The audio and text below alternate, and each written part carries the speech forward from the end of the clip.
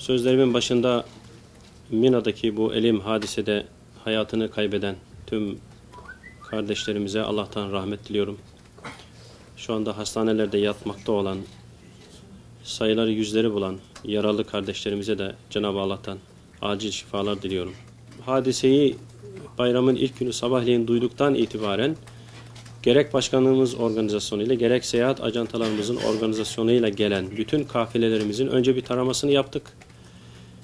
Ee, hacı kayıplarımızı tespit ettik. Daha sonra çalışmalarımızı sürdürerek hangi kafilemiz hadiseye girdi, hangisi girmedi onları tespit ettik. Tespitlerimiz sonucunda Diyanet Ee, burada e, Müzdelife'de e, sabah namazına kalıp vakfeyi yapmak isteyen iki tane küçük grup e, geç kaldığı için, hacıları yaşlı olduğu için hadisesinin içine girdiğini tespit ettik. Ve onların kayıplarını aldık. İlk gün sizinle de paylaştığımız üzere 18 tane kaybımız vardı. Ee, şu an itibariyle bu kayıp sayısı 6'ya düşmüştür. Kalan- Mina'daki izdiham hadisesinde vefat eden hacı sayımız 2 tanedir. O iki tane e, yanlış intikal ettirilen bilgiyi çıktığımız zaman ben isimlerini de sizinle paylaşmak istiyorum. Şu an itibariyle 6 tane kaybımızın isimleri İsmail Aslan, Yozgat 52 doğumlu.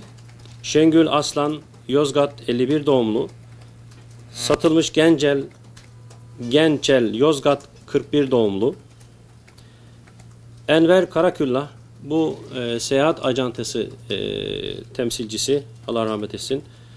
E, kayıp yalnız, yani burada ben yanlış bilgi vermeyeyim.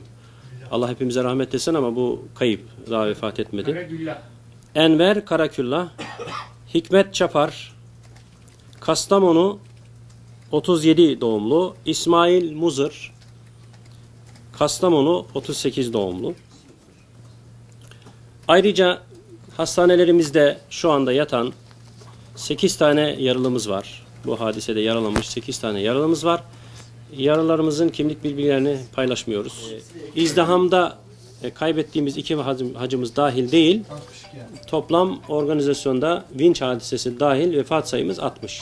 Burayı sayarsak 62. Bununla 62.